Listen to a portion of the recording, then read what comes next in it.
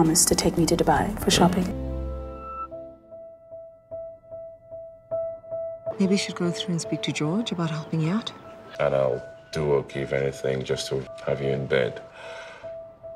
One more time. Hmm? Why didn't you call to tell me all of this? Is it because she's here? I want you to lay all your cards on the table. I'm not comfortable with your closeness with Ryan. Ryan and I were close way before he even dreamed of being with you.